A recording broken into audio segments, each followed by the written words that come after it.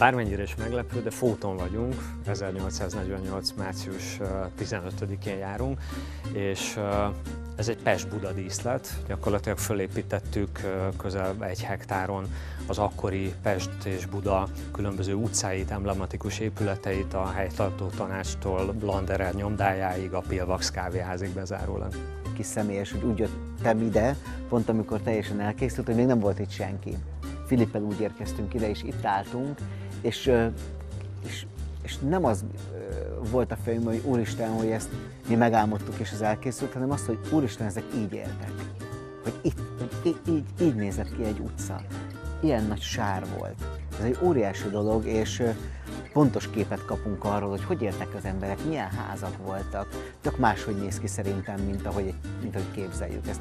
Itt is elmondtam, amikor bejártuk a, a díszletet nem, nem sokkal ezelőtt, hogy, szerintem sokkal szebbre, fényesebbre, díszesebbre képzeljük, és ezért egy picit olyan westernes, hogyha, ha jobban belegondolunk ezzel, ezzel a sok földdel, kopott házakkal, de így nézett ki akkor Pest-Buda.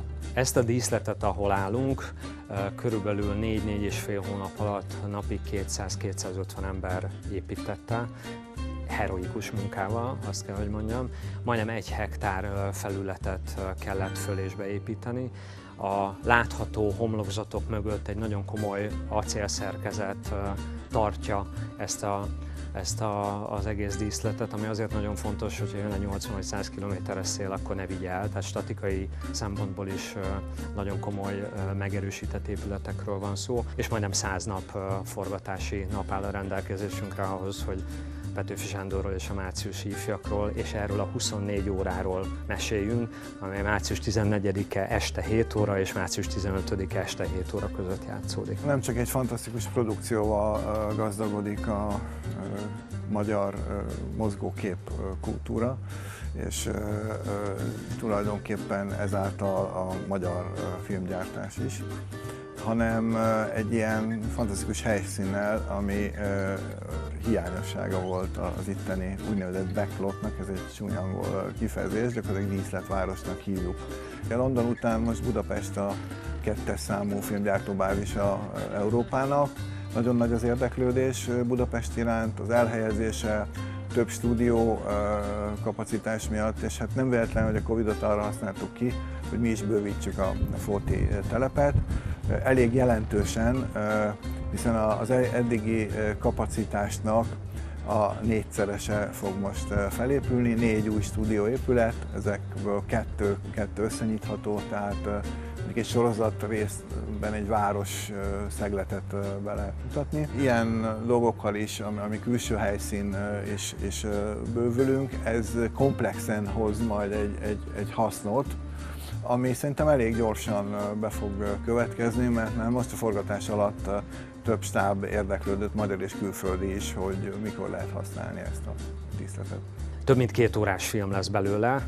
Félve mondom, hogy még az sem kizárt, hogy két és fél órás is. Az eddig forgatott anyagokat látva hát egészen, egészen elképesztő uh, csoda van születőben, úgyhogy nehéz lesz belőle kivágni majd jeleneteket, ez egészen biztos.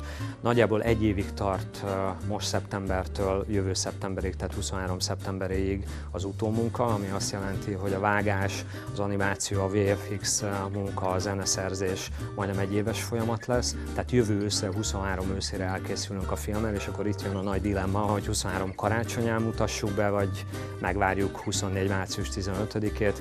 Erre a kérdésre ebben a pillanatban nem tudok még válaszolni. Ha a néző úgy ül be erre a mozira, hogy nagyon-nagyon jól szeretne szórakozni, egy nagyon izgalmas kalandfilmet szeretne látni, tele hajmeresztő kaszkadőr mutatványokkal, óriási tömegjelenetekkel, látványjal, és, és nagyon komoly magyar filmben páratlan jelenetekkel, akkor nem fog csalódni. Azt gondolom, hogy ilyen magyar film még nem volt. Ez egy hullámvasút, ez egy kalandfilm, ez egy tűzijáték, ami az elejétől a végéig nagyon komoly meglepetéseket kínál a magyar nézőnek, és szerintem sokan azt fogják mondani, hogy ilyet még nem láttunk. Háttértesség! Háttértesség!